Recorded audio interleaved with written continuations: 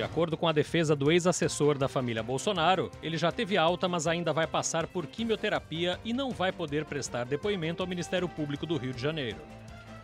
Queiroz é suspeito de movimentar 1 milhão e 200 mil reais em suas contas, valor muito acima de seus rendimentos. O novo depoimento ainda não tem data marcada.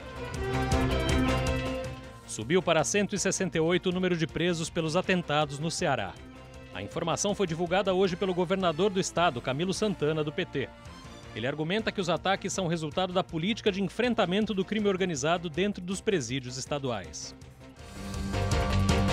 O cantor Erasmo Carlos, de 77 anos, se casou com a pedagoga Fernanda Passos, de 28, no último domingo.